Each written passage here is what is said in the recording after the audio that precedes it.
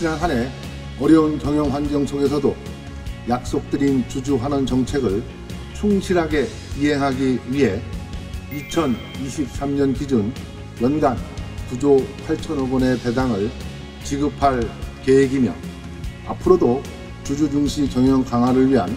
최선의 노력을 다할 것을 약속드립니다. 기존 사업의 경쟁력을 지속 강화하면서 미래 핵심 키워드인 AI, 고객 경험, ESG 측면의 혁신을 이어갈 것이며 이를 위해 다양한 신제품과 신사업, 새로운 비즈니스 모델을 조기에 발굴할 수 있는 조직과